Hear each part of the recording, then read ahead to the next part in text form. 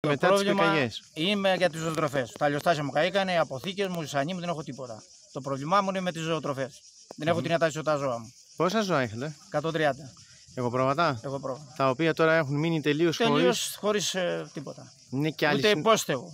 Είναι κι άλλοι στο χωριό μου. Είναι κι άλλοι, δεν είμαι μοναδικός εγώ. Πόσα άτομα περίπου; Ε, οι άλλοι έχουν τα πιο λίγα. Μμμ. Ε, θα είναι 7-8 άτομα ακόμα και στο χωριό μου.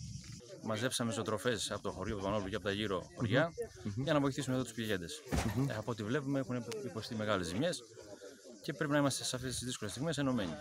Μιλάμε για ζημιές κτηνοτρόφους, έτσι. Κυρίως. Κτηνοτρόφοι, ναι, σε κτηνοτρόφοι. Εμείς φέραμε για τι ζωοτροφές και κτηνοτρόφους ναι, που έχουν καεί οι αποθήκες τους, οι σανοί τους, τα πρόβατά τους κάποιον. Μιλάμε, έχετε κάποια εικόνα πόσες μπορεί να είναι αυτές οι ζημιές; Πόσες χιλιάδες κεφάλια σε εγωπρόβαλα. Ακόμα δεν έχουμε. Ανυπολόγιστες. Αν ανυπολόγιστες, ναι. Ε, πιστεύω ότι αυτέ τι μέρε γίνεται η καταμέτρηση για αυτά τους υπηκούς. Μιλάμε για πρωτοβουλία τώρα που πάρθηκε από τους ε, τοπικούς συλλόγους των αγροτών. Όχι, υπάρχει από μένα από το, σαν πρόεδρος του Πανοπούλου και βοήθησε όλος ο κόσμος από εκεί πέρα, από το Πανόπουλο και τα γύρω μέρη. Βοηθήσαν ο κόσμος σημαντικά. Μμμ. Θα συνεχιστείς τι επόμενες μέρες; Αν χρειαστεί, θα συνεχιστεί. Ευχαριστούμε πολύ. Κάθε καλά.